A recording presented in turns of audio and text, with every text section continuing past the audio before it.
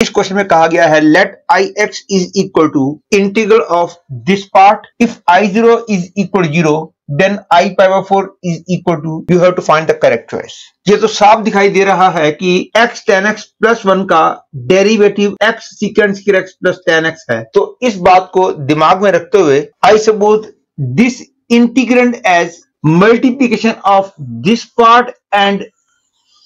this part याद रख लो जो आंसर आता है उसको बोलते हैं इंटीग्रल और जिसका इंटीग्रेशन करना होता है उसको बोलते हैं इंटीग्रेंड यहाँ पे इंटीग्रेंड ये पूरा है, और मैंने इंटीग्रेंड को दो फ़ंक्शंस के प्रोडक्ट वाली फॉर्म में सपोज़ किया है, और मैं इंटीग्रेशन बाय पार्ट्स यूज़ करने वाला हूँ। और क्योंकि दिस अपॉन जिसका मैं इंटीग्रेशन आसानी से कर पाऊँगा तो फिर मैं इसको सेकंड फ़ंक्शन मानूँगा, और एक्स स्क्र को फ़र्स्ट फ़ंक्शन मानूँगा। तो using the formula of integration by parts I will get this is equal to x square और इसका इंटीग्रल देखना कोई मुश्किल नहीं है। यदि आप नहीं सोच पा रहे हो तो इसको रफ में इंटीग्रेशन कर सकते हो। इसका इंटीग्रल जो है minus one upon x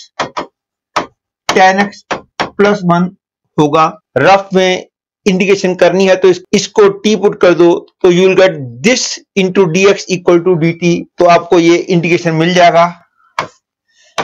And plus you will be getting two x into one upon x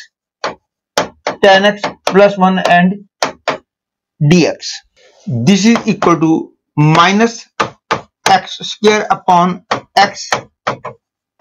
tan x plus one plus two tan x को आप sine x by cos x लिखो और एलसीएम लोगे तो you'll get x cos x upon x sine x plus cos x and d x this is equal to minus x square upon x tan x plus one plus two again आप easily देख सकते हो कि इसका derivative ये है। तो इसका इंटीग्रल हो जाएगा two log mod of x sine x plus cos x plus C this is